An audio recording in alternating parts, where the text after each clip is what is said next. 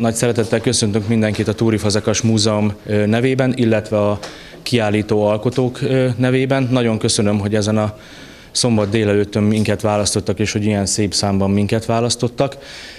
Mielőtt mindenféle okosságról, tudnivalóról és erről a kiállításról hallanánk, tisztelettel, tisztelettel megkérem három zenészünket, énekesünket, Bárdos Ildikó népdalénekes, Molnár Miklóst és Molnár Rózsikát, hogy egy kis megnyitóval kedveskedjenek nekünk. Köszönöm.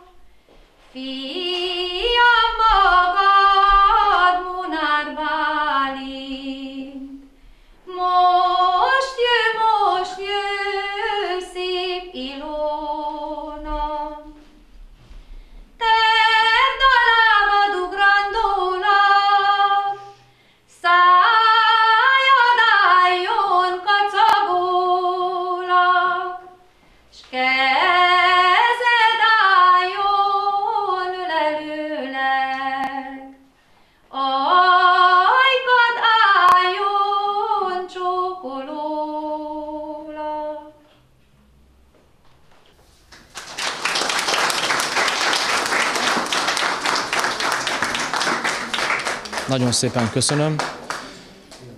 Tisztelt vendégek, talán az itt lévőknek senkinek nem kell elmondanom, hogy a mai délelőttön kik mutatkoznak be, és kiknek a munkáit láthatjuk. Azt, hogy erről a kiállításról, a kiállítók életművéről mit kell tudni, azt pedig tisztelettel megkérem Kósa Klárát, kerámikus művészt, a népművészet mesterét, hogy ő mondja el. Úgyhogy Klára, kérlek, hogy Tartsd meg ezt a kis nyitóbeszédet.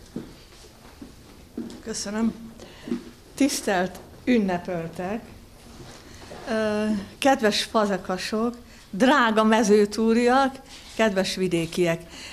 Én évtizedökön keresztül, illetve ameddig tartott ez a név, addig harcoltam, hogy nem bírom azt a minisztériumot, hogy vidékfejlesztési minisztérium, ez tiszta hülyeség. A vidéköt nem kell fejleszteni, íme itt a bizonyság, hogy mennyire zseniálisak vagyunk mi vidékiek. Lehet, hogy a fővárost kellene fejleszteni, de minket nem. Most már végül is ez meg is változott, de nem erről akarok beszélni. Azt rögtön elmondom, hogy nem kell nagyon félni, megígérem, nem leszek hosszú. Én is, amikor kiállítást nyitnak meg nálunk, vagy mondjuk nekem, akkor mindig azt nézem, hogy hány oldal van A4-es papírból, mert ha túl sok, akkor már rögtön keresek valami széköt hátulról, meg kint az udvaron, de azt nem bírnám elviselni, hogy sokat beszéljenek, hiszen tulajdonképpen fürdeni akarunk a sikerbe. Tehát ez a család is, hogy álljak, hogy jobban látszódjatok. Ez, ez a családnak is fürdeni kell a sikerbe, mert valami olyan fantasztikus, amit itt látok, hogy, hogy jobb lesz velük beszélgetni, velük találkozni, nézni ezeket a tárgyakat, mert ugyanis ez egy ünnepség. Tehát nem e, mögnyitóra kell számítani, hanem megnyitó ünnepségre. E, mert bizony itt mindenki művész, ahogy ezt az elébb említettem. Angyal Kornélia, Donkó Károly és az ő gyereke, gyerekük, Donkó Rebeka, Donkó Benedek. Benedek. Amúgy tudom, csak most nem. És a feleség Koródi Anna. De hát ez egy ilyen fantasztikus család, itt mindenki mindent tud. Sok szeretettel köszöntöm még ebben a pillanatban, ez kimaradt az előbbiből, a dinasztiának a, az itt lévő legidősebb tagját, Donko Ilonka nénit, mivel hogy, vagy Angyal Ilonka nénit, lehet, hogy most izgulok, pedig én nem, nekem nem szokásom az izgulás, de lehet, hogy izgulok. Sok szeretettel köszöntöm, mert azért onnan erednek a dolgok. Hát igen, én ezt az Angyal Kornéliát és a Donko Károlyt 40 éve figyelem. Az egy dolog, hogy ismerlek benneteket, 40 éve figyelünk benneteket. Itt vannak olyan fazekasok, például van egy igazán korba is mellettem lévő fazekas, ez a Búsi Lajos a népmészet mestere. Figyelünk benneteket, mert ez minden itt kezdődött mezőtúron. És azt ugye, te tudod legjobban évike, hogy én mennyire imádom mezőtúrt, mert szerintem, ha valaki fazekas, akkor vagy itt született, vagy itt lakott, vagy itt tanult, vagy itt együtt. Kész, nincs több. Tehát mezőtúr meg a fazekasság az így fonódik össze. És akkor iregyűn egy e, e, eredeti mezőtúri lány abba a szuper aranyos, drága, jó, egyébként most már tönkretött fazekas házba, ez volt Angyal Kornélia, és gyűjt már egy évvel hamarabb e, Donkó Károly, és akkor ezek itt összetalálkoztak. Megtanulták, lehelet finoman magát a szakmát, de mindent tudnak belőle, megtanulták, akkor utána volt a frigy, és akkor amikor végeztek, akkor elmentek. A mestereik az, azok itt élnek továbbra is mezőtúron. Én a két mester közül a Búsi Lajost említem meg, mert bizony ő óriási hatással volt a, a korongos tudása egyáltalán mindarra, ami, ami itt körülöttünk látható. Vannak még más mesterek is, akik tanították őket, de azt figyelmeztetök mindenkit, hogy ez a két ember ezt a mestert már régen túlhaladta. És ez nem minden, de nem mindegy. Szorgalmas, dolgos, nagyon jó hírű családokból gyűjtek ezek, ez a két drága ember ide, és akkor ugye, amikor végeztek, de azt tudni kell, hogy milyen pazar volt itt a tanítás. Mondjuk a Nellike az följárt Pestre, és volt olyan, hogy mi ö, ö, kimentünk a, a Köröspartra, ott feküdtünk hanyat a Körösparton ezen a srégen, és ott tartottuk a művészettörténet órát. Hát ennél jobban nem lehet művészettörténetet megtanulni, mint hogy hanyat fekszök, fölöttem az ég, ö, bennem a létra, ugye? És akkor beveszem mindazt a tudást, ami, ami nekünk jár, ami nekik jár, aminek utána itt az eredménye. Na, amikor végeztek, így ahogy van, Frigyöstű, Mindenöstű, egy család elköltöztek Ladányba. Ladányba azért, mert ott volt ennek a drága jó Donkó Károlynak a nagymamája, és a nagymamai házban, házba ott volt a műhely, és akkor dolgoztak. Igen, ám, de itt van a Angyal Kornélia, aki ugyanolyan gyönyörű szép erőszakos, mint én, tehát ő eldöntötte, hogy akkor nem ott fognak lakni, hanem Abonyon keresztül jártak fő Pestre, és akkor elköltöztek Abonyba. Volt egy kis ház, ott laktak, és éltek, dolgoztak, gyarapodtak éltek, dolgoztak, gyarapodtak, és egyre jobbat csináltak, és mindig jót csináltak, és építköztek, és gyűjtek a gyerekök, na hát az is a gyarapodáshoz tartozik, és az is a csodához. És ugye mesélhetnénk, meg ők is mesélhetnének erről rengeteget, ezekről a korszakokról, de inkább beszéljünk magáról a cselepekről, ami mi tulajdonképpen ide jöttünk, mert ugyanis ilyet bemutatni, az az ő szívüknek, én ezt magamból indulok ki, az valami elrítő jó. Tehát én nem szeretem azt, hogyha mondjuk egy kiállítás hetekig, hónapokig tart, ki nem állom, egy nap a valami addig, ameddig önök itt vannak, ameddig ti itt vagytok. Tehát látom a szömöket, látok mindenkit, hogy örülöm, mosolyog, tetszik. Igen, tetszik, mert ezek olyan darabok, amit ők szívvel élőket csináltak, de finoman szerényen. Na most fogjátok a karcsikát, mert a karcsikát ismerem, hogy karcsika egy olyan szerint típusú ember, hogy az ki nem állja, amikor én elkezdem dicsérni, pedig itt nincs mit tenni. Szóval itt olyan elementáris tudás van, hogy ezt sajnos el kell viselnöd. Ez, ez egy nagyon komoly dolog. Ha megkérdeznénk egyébként, hogy ki mi élőt fazekas, bőrös, fás, vagy éppenséggel más, Hát akkor különböző válaszok lehetnének. Ugye nem művészi családból származik egyikőjük se, de most már abban vannak benne, és ugye ők az alapítók, ők azok, akik ezt az egészet, ö, ö, hogy mondjam, elkezdték. Nem tanították, amikor megkérdeztem a Nellikét, hogy azt tanítottad a gyereköket? Azt mondja, hogy nem, hanem úgy látták, benne vannak a vérükké vált. Nem, így születtek. Ők is így születtek. Amikor tőlem valaki nagyon régen megkérdezte, hogy mi akarok lenni, még agyagosít láttam közelről, én mondtam, hogy én nagy fazekas vagyok. Na most ez olyan öt éves koromban volt, de ettől kezdve én így álltam az élethez. Én azt hiszem, ti ugyanígy vagytok, hogy nagy fazekas vagyok. Tehát nem kell ezt tanulni, meg arról nem beszélve, hogy taníthat nekünk bárki bármit, az embernek van egy sajátos útja, sajátos vonala, amit majd követni fog, és amin fog menni. Tehát én például azt nem bírom, amikor valaki nekem valamit megmondta, hogy ilyet szeretne. Nem tudom, hogy ti azt bírjátok, hogy valaki elmond valamit, mert remélem nem, hanem majd mi megmondjuk, hogy milyen. Ettől jó valaki, ettől jó művész, és ők az igazi iparművészök, hiszen mi az iparművészet? Gondoljanak bele. Ugye a fazekas művészet az egy dolog. Ott van a technika, a tudás, 700 éves, 1700-as évektől kezdve már ugye mekkora nagy fazekasok vannak még itt mezőtúron is, de amikor már valaki ezeket a, az igazi magyar gondolatokat, lehelleteket áthelyezi a 21. századba, hát az már iparművész. Iparművész. És ők bizony ezt csinálják. Van kottám, azért időnként belenézek. Tehát a mesterség szeretete, alázata, a tudás, a rajongás, ez abszolút rád vonatkozik, meg rátok. Évtizedeken át előre vitte őket. Én ismerek olyan művészöket, akik egy évben csinálnak tíz ótvart, és akkor ezen elájulnak maguktól, az tetszik nekik, nekik. És akkor azt mondják, hogy ez a valami. Nem. Én a Donkó Károly Angyal Nelly formációt ugye 40 éve figyelem, ezek nem lankadnak, ezek nem úgy vannak, hogy jó, csináltam egy szép étkészletet, azt most már főtött lábakkal nézem az RTL klubot. Nem. Egyszerűen csinálják és gyönyörűségüket, ugyanis akkora igény van rá ebbe az országba, aminek én bizony nagyon örülök. Nem csak Abonyban, nem csak Mezőtúron, nem csak az ő régiójukban, nem csak az Alföldön. Ha látnák, hogy hogy szeretik őket Kecelön, Kalocsán, Zalaegerszegön, Budapesten, Tófejön, és sorolhatnám tovább a helyeket, ahol ők főbukkannak az étkészleteiket, akkor bizony tudnák, hogy, hogy ez így igaz, nagyon kedvelik az emberek őket. Sokszor találkoztam én már kézművesökkel. Mindenki tudja, hogy mi a véleményem a kézművesökről, a félötösökre gondolok.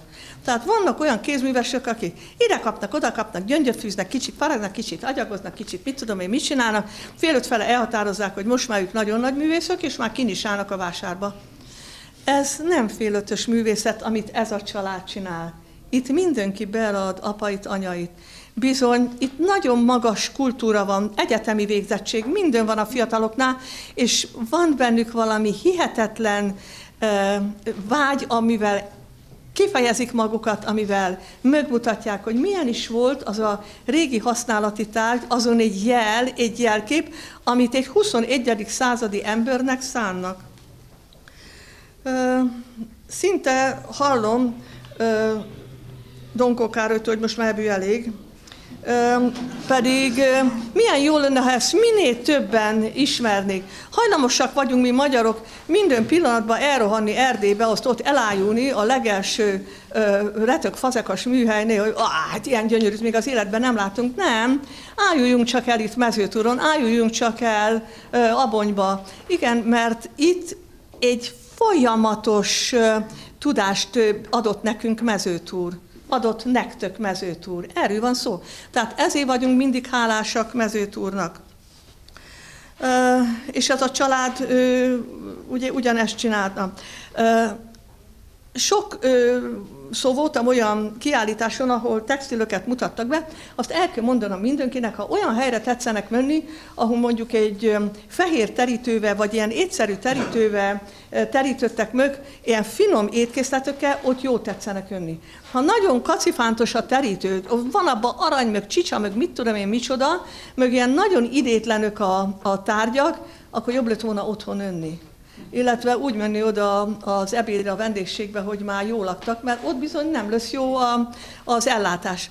És itt vannak ezek az étkészletek? Most gondoljanak bele, egy donkó angyal, ja mondom így, vagy úgy mondjam, hogy angyal donkó? Nem, hát a Károly korongolja, Nellike adja hozzá azokat a lehelet finom virágokat, húzásokat, mintákat. Egy ilyen bűr milyen jó önni, alig várja az ember, hogy mellé üljön. Ebbe az étel is jó, ebbe a, a pohárba a bor is finom. És ez nagyon fontos. És akkor jönnek a fiatalok, a fiatalság, az alkotó emberek, és azok a gyönyörűséges textíliák. Rebeka, én mindig úgy elájulok tőled, hogy milyen e, fantasztikusat csináltál. Én legelőször is attól a, a, az előző szobában levő ké, négy képtől az maga a rend az a kék. Ugye a kéket az az ember szereti, aki szorgalmas, hűséges, megbízható. És ott van ez a gyönyörű kék azokkal a, a, a meseszép jelképekkel, az a csodálatos jelképek, azzal, ami fontos nekünk, amit ő kerek az életünk, a nappal és a holdal, a nappal, ami kerek, aminek nincs eleje és nincs vége. És ezt tudja a Rebeka. És akkor ő ezt ilyet csinál, és akkor vannak neki ezek a gyönyörűséges függönyök, és mindaz a, bátran húzott vonal, ami, ami mögégyezik a jobb és baloldal, hiszen egy duális rendszerben élünk, ezt mindenki tudja. Annélkül nem vagyunk kerek egész, ha egyik oldal a másikkal nem egyezik meg. Mert van fönt és lent, jobb és bal, fehér, fekete, nő és férfi, felnőtt és gyerek, ezt mindenki tudja. Tehát nagyon fontos, hogy egy kettes egység adjon egy egészet, majd abban tessenek külön gyönyörködni, és abban a rózsaszínbe, ami olyan kedves, mert csak az az ember szereti a rózsaszínt, aki kedves. Most nem kell rám nézni, mert hogy én feketébe vagyok, de én azért szeretem a feketét, mert olyan zizi vagyok, semmi nem higasztít, csak a fekete. Szóval én nagyon boldog voltam, amikor láttam a, a bőrtáskáidat, és remélem, hogy előbb-utóbb nem azt fogom hallani, hogy alig van rá időd. Ilyen nincs. Ilyen szöveg nincs, hogy alig van rá időm. Mindent félreteszünk, és akkor erre van időnk. Tehát mindent úgy kell csinálnunk, hogy erre van időnk. És a faragás, hát arra remélem mindenkinek van, hogy van ide, időd hogy, hogy faragjál és csinálj és restaurálj, mert, mert ugyanis annyira igénylik az emberek ezeket a szép dolgokat, hogy fogjátok tapasztalni, hogy majd kő valami nőrszt hívni, vagy bárkit, és akkor majd az vigyáz a gyerekükkel, de a lényeg az, hogy dolgozni kell, ahogy ti dolgoztok 40 éve, és nyugodtan, finoman, boldogan csináljátok az étkészletet, amiben én már látom, hogy mit kéne beletönni, mi, hogy kéne önni, de ez itt mind látható, és akkor van ugye mindig ilyen szöveg, és azt el kell darálni, hogy a világ egy Isten szőtte szőnyeg, melynek csak a viszáját látjuk itt, és néha legszebb pillanatunkban a színéből is valamit. Na, Angyal Nelly és Donkó Károly itt tulajdonképpen mindig csak színét mutogatja a, a szőnyegeinek, és akkor még egyet elmondanék ehhez, hogy volt egy mesebeli csodálatos király, mert azért inkább ilyen meséről beszélök, mint a balladáról, mert ez egy örömünnep. És azt mondta ez a csodálatos király a mesébe, hogy a királyságát annak adja, aki a mellette levő ö, ö, üres földet hónapra betelepíti virággal. Hát gyűjt egy ember, betelepítette virággal, hát akkor király megért most már nekik ő adni ezt a területet. Mondja, hogy oké, okay, jobban nekiadom, de majd a másik területet is, ha hónap reggelre betelepíti virággal, akkor neki adja a királyságát. Hát jött az ember, még illetve maradt, vagy mit tudom én, hogy történt a dolog, de a lényeg az, hogy másnapra be volt telepítve a másik rész is virággal ti hány éve, 40 éve telepítetek be a világot virággal. Ti 40 éve adjátok magatokat szerényen, csodálatosan, és itt vannak a fiatalok is, ők is, és Rebeka is, és adja a virágokat 40 éve. Tietök a királyság. Az Isten éltessen benneteket sokáig, legyen békesség közöttünk mindenkor. Szívből gratulálok én ehhez a 40 évhöz, az életetekhez, az alkotásaitokhoz, és adja Isten, hogy továbbra is ugyanígy alkossatok, és mindenkinek az örömire, mezőtúrnak, Abonynak, Magyarországnak, a nagyvilágnak, csak dolgozzatok, Isten éltessen benneteket sokáig.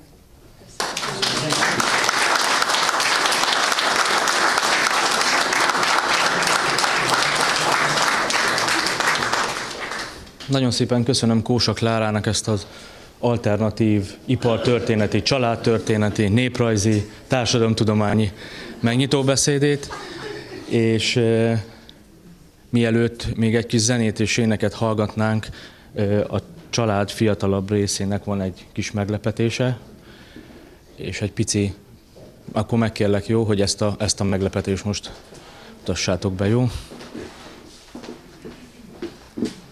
Elnézést kérek mindenkitől azelőtt, hogy megszólalnék, hiszen szokták mondani, hogy ebédidőben utolsónként műsoron kívül ki képes szólni, ez sokkal nagyobb bajasságra is hajlandó, úgyhogy én még rövidebb leszek, vagyis igyekszem legalábbis, és az ünnepi alkalmat megragadva, miután úgy kerültem ebbe a családba, hogy a többiekhez, a többiekkel ellentétben én a két kezemmel szoktam mondani, hogy csak kárt tudok csinálni, maradok az elméleteknél, Viszont az alapelmélet, ami, amivel kezdeném, az épp apósomtól származik, aki erre a itteni porhüvelybe töltött földi életünk hosszát tekintve azt szokta mondani, hogy a, abból az első 60 év a legnehezebb. Na most a e, itt kiállító fazekas házaspár már most úgy gondolhatja, hogy nehezén túl van, innentől örömjáték az élet. És, de mire valók ugye a családtagok és a barátok, mint hogy más alternatív számításokat végezzenek ebben az idő távlatban, és ebből a 60 évből akkor harmadoltak, vagy divatosak vagyunk, kétharmadoltak egyet, és elhangzott ez a 40 év, ez a bizonyos 40 esztendő, hogy ők ugye hivatásukul választott mesterségeket pont ennyi ideje, éppen idén 40 esztendeje végzik. Na most hát ez ahhoz még kevés persze, hogy egy állandó kiállítás, egy akármilyen emlék emléktábla, emlékjel szülessen róla, hiszen hogyha ezzel a mércével nézzük a dolgot, akkor bizony ebből a 60 évből még legalább 20 hátra van, ami aktív alkotó munkával kell, hogy teljen, és majd csak utána jöhet ez a bizonyos örömjáték, az még ki tudja hány évtized lesz, akkor már igyekszünk átvenni a munka nagyját. De hogy azért nem menjünk el szó nélkül a 40 év mellett, azért ezek a bizonyos családtagok és barátok összegyűjtöttek néhány régi, megkészítettek néhány újabb fotót, ami nyilván a teljesség igénye nélkül, de azért próbál egy keresztmetszetet mutatni erről a négy évtizedes munkásságról, és volt három olyan cinkostárs, aki a fotókon túl még szöveggel, emlékekkel, élményekkel, tapasztalatokkal, sztorikkal gazdagította ezt a kis összeállítást, amit most szeretnénk átadni elsősorban az ünnepelteknek, így egy-egy jelképes példányt, illetve a most ennek az alkalomnak, ennek az ünnepi alkalomnak otthont adó múzeumnak, hogy azért mégiscsak egy örökkévaló múzeumi tétel váljon ez a munkásság. Eddigi szakasza. Ő lenne az.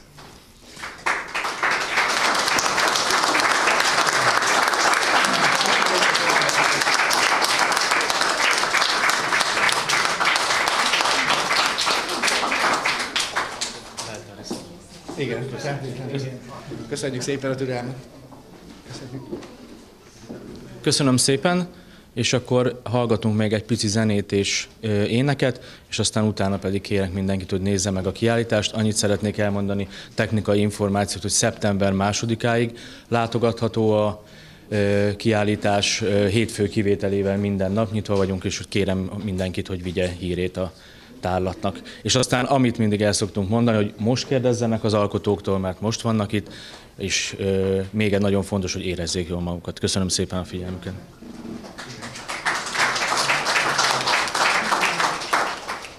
Nem akarjuk a türelmüket sokáig húzni, meleg van, de az az igazság, hogy a kisányunkkal készültünk még két rövidke balladával, hogy az még belefér Jó. Az az igazság, hogy a balladát ritkán ö, énekelnek manapság az emberek, ritkán is lehet utolérni olyan nénit, öreg asszonyt, aki még a balladákat tudja énekli, és nekem volt annak idején személyes élményem Magyarsároson egy idős nénit hallani, ahogy énekelte a balladát, és azt mondta, hogy ő azt az édesanyjától hallotta, és az ő kis testvérének énekelte altatóként. Ugye azt mondjuk, hogy a ballada a szomorú, hát az első ballada, amit énekeltem, az egy ballada volt, ez pedig, amit most énekelni fogunk Rózsikával, ugyanis elkezdtem neki is énekelgetni este, és akkor kérte folyamatosan, hogy, hogy énekelje, hogy közben megtanulja. Tehát nem tudatosan tanultam, vagy tanítottam neki, hanem megtanulta velem együtt. A Budai Ilona balladájáról van szó, amit ott nálunk az erdélyi kiskükülő mentén valahogy úgy változtatták át, hogy a török asszony balladája, ugyanis hihetetlen lehetett a magyar ember számára, hogy, hogy egy magyar asszony olyan kegyetlen legyen, hogy a, egy, hogy a gyerekét ott hagyja a kincses ládája helyett. A török elől menekült több, mint valószínű az asszony Budai Ilona, és így aztán török asszony lett belőle. Úgyhogy először a török asszony balladáját énekeljük Rózsikával, Mikilos egy dallamot fog utána szintén erről a vidékről játszani, a kis mentéről, és azután pedig egy vidám ballada következik, azt meg Rózsika fogja elénekelni, az meg a bőgös feleség balladája, és utána egy kis gyümesi muzsika lesz.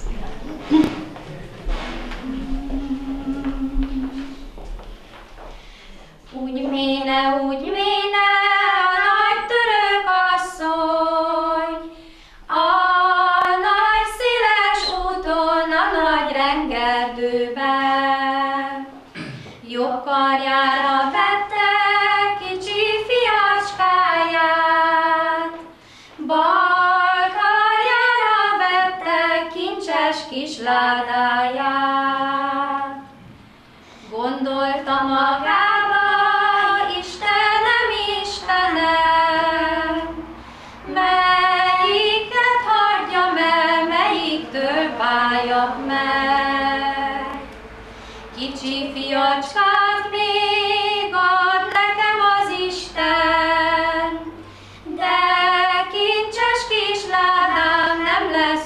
lesz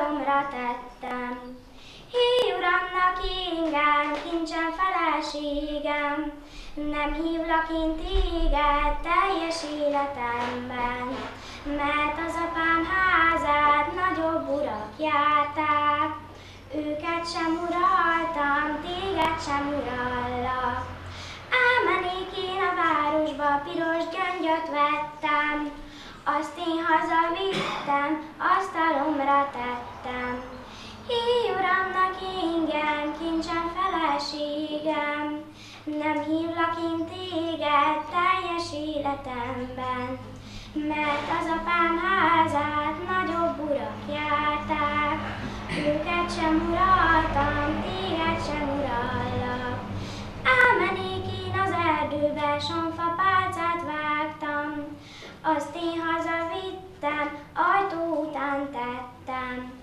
Hé, uramnak ingem, kincsen feleségem, nem hívlak én téged teljes életemben, mert az apám házát nagyobb urak járták, őket sem uraltam, téged sem urallak. Elévettem én a pálcát, ütni, vágni kezdtem. Uram vagy, uram vagy, teljes életemben. Uram vagy, uram vagy, egész életemben.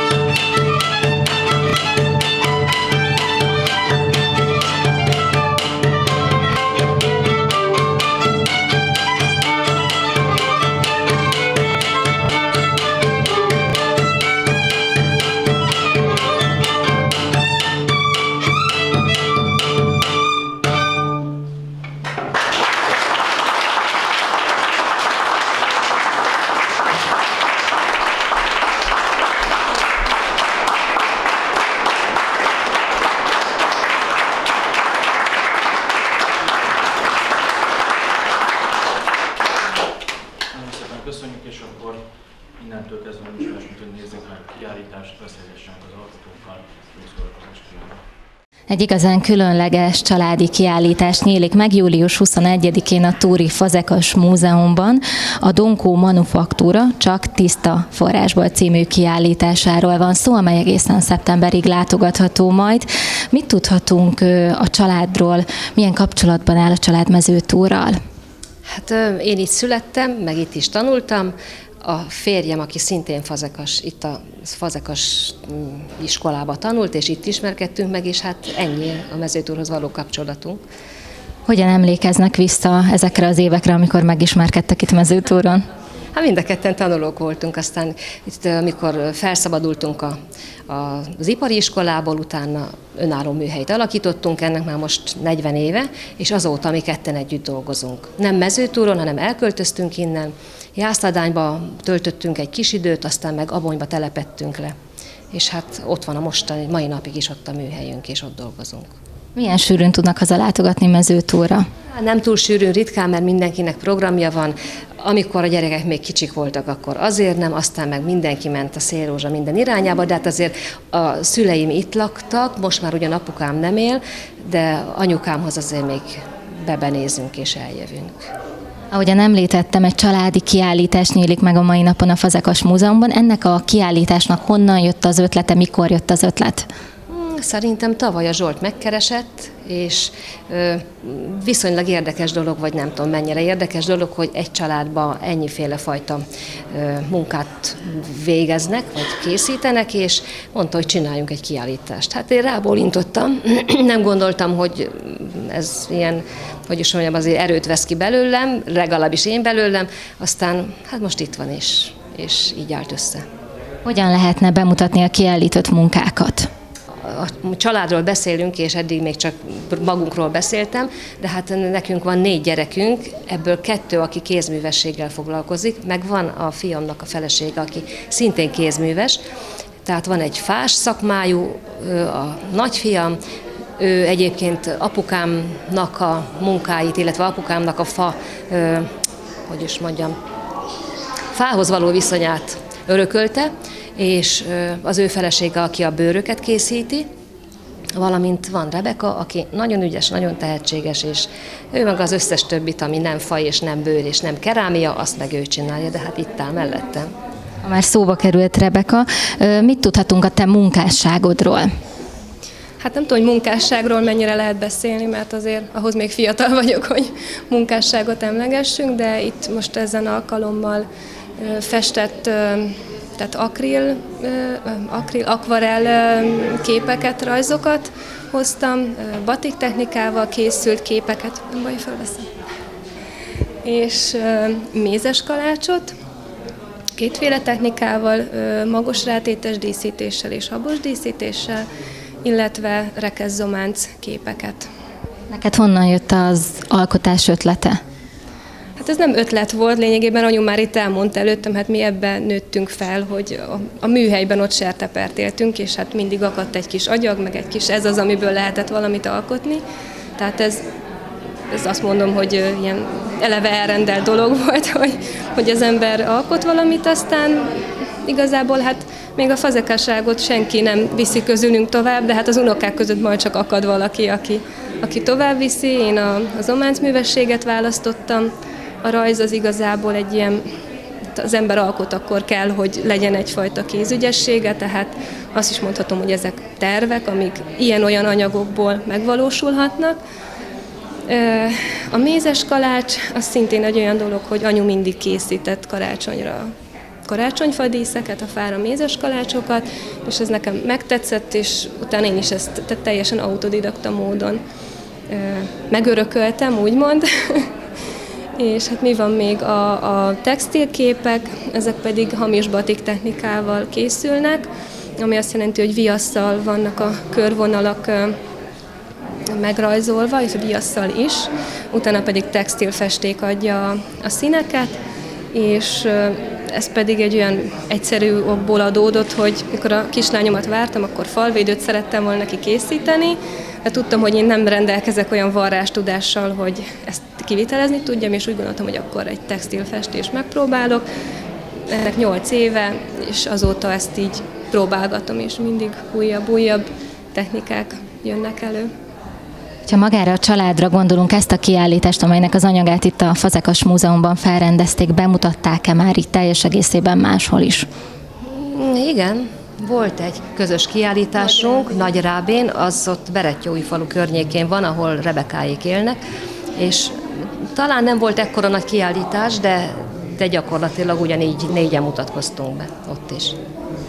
Július 21-én szombaton a Tóri Fazekas Múzeumban egy időszaki kiállítás nyílik meg, és várja a látogatókat, méghozzá a Donkó Manufaktúra csak tiszta forrásból című kiállításának megnyitóján vagyunk, és eléggé széles palettát bemutat ez a kiállítás, egy családi kiállításról van szó, ugyanis fazekasok, faműves, bőrműves, zománcműves és mézbábos is, mézbábos is bemutatkozik a tárlaton. Mit tudhatunk a részletekről?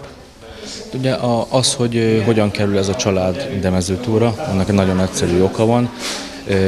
Donkó Károly és felesége itt mezőtúron tanulta a fazekasságot, ráadásul Nelly mezőtúri származású, és néhány hónappal ezelőtt egy másik kiállítás megnyitóján beszéltük azt meg, hogy mivel most 40 éve vannak ők, mármint a házaspár a pályán, hogy az egész család bemutatkozna itt Mezőtúron, a Túri Fazekas Múzeumban, és hát e, mivel Nelly és Károly munkája itt jól ismerjük, tehát a fazekas munkákat jól ismerjük, illetve a család többi tagjától is én is láttam, illetve a kollégáim is láttak már jó pár munkát, mondtuk, hogy természetesen is nagy örömmel várnánk őket, úgyhogy most ez a egyben jubileumi kiállítás, ez, ez büszkén mondhatjuk, hogy itt nálunk valósult meg, és valóban, ahogy elhangzott, hogy, hogy több népi kismesterség képviselteti magát.